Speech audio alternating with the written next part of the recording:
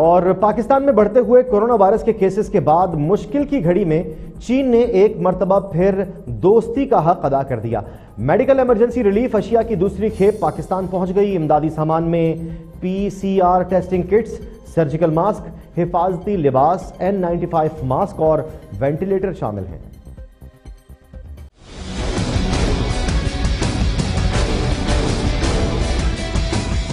पाक फौज के शोबा ताल्लुकात आमा के मुताबिक चीन से मेडिकल इमरजेंसी रिलीफ अशिया की दूसरी खेप पाकिस्तान पहुँच गई है। चीन की जानब से मजीद वेंटिलेटर्स भी भिजवाए गए हैं। आई एस पी आर के मुताबिक भिजवाए गए सामान में डॉक्टर्स और पैरामेडिक्स के लिए हिफाजती लिबास भी शामिल है। रिलीफ के सामान में surgical mask testing kits N ninety five mask शामिल हैं।